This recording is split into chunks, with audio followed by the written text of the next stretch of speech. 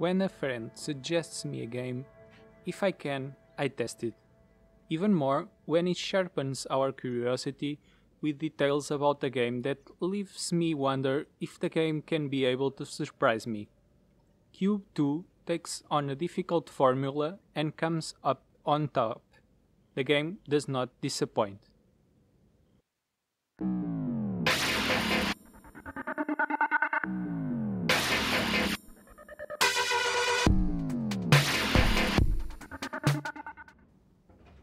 Q.U.B.E. 2 is an, an almost pure puzzle game where there are some platform components.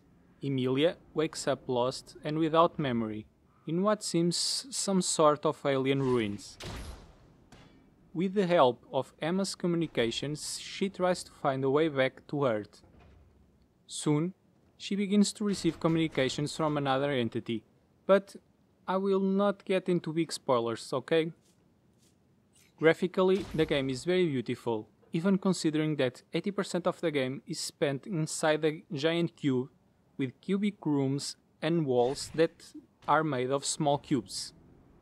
Over the time, I began to consider that this might be related to the name of the game, but I still find it that evidence inconclusive. At some point in time, the action starts to take place in a more external environment, and the characterization of a post apocalyptic atmosphere is credible, without the traditional exaggerations of other games. The music and sound effects are well thought out, with the music being very re relaxing, not providing distractions in a game where it's important to be focused on the details. The only problem I point out is that often the music runs over dialogues, which makes them difficult to understand if we do not have the subtitles turned on. The game itself made me immediately remember of Portal. Even with less than 30 seconds of game I was already saying that it was a blatant copy. All it was left to know if it was a good or a bad one. In the game we have a suit that gives us the ability to manipulate structures to perform different actions and those actions allow us to solve puzzles to access new areas. In addition to the structures that we can manipulate, new game mechanics are gradually introduced to complicate our thinking process. That introduction is gradual, and we never feel overwhelmed with information. The puzzles are mostly easy, with the exception of 3 or 4 which seem randomly introduced and not associated with any difficulty curve. Those usually require much more attempts to solve, including trial and error. The controls are not immaculate. I have been mistaken multiple times in the structure I wanted to manipulate, and sometimes it was not easy to time the jumps, which led me to think if it if I was solving the puzzle correctly, or if there was something that I was not seeing. There was not any moment of action or combat, which always gave me the, the feeling that I was solving the puzzles only for the sake of solving them.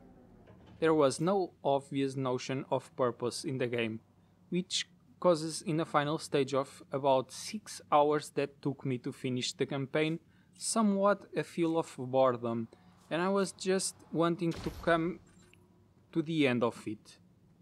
This would be different if the story that the game gives us, the environment that the game tries to emulate, could make the decision decision process doubtful. In my mind, there was never a doubt, and the, this game is about choices.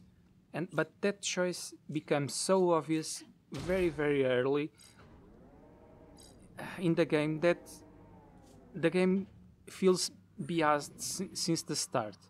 The game tries to create doubts in our heads, but in my opinion, soon we realize that we have to take part in the future, and we also decided that the side that we support rather quickly. In practice, there is no antagonism in the story. The information provided, provided to us confirms what we already know and what we will do when the time comes. I know it's not easy to do it properly, but if the story was balanced with the, this diet, I might got more excited and want to know even more. But that was not the case. I think I've said enough to you to realize that this game has more than one ending.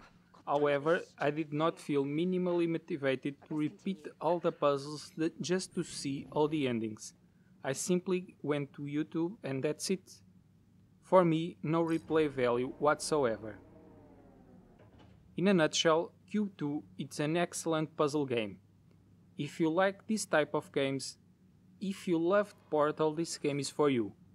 Although it's still a notch below it, with a story that could be more balanced, the final product remains a game well above the average that I have played. I've started and finished it in one go. I could not stop. We get the feeling that we are clever at solving all those puzzles and we do not want to stop. Try it, you will not regret.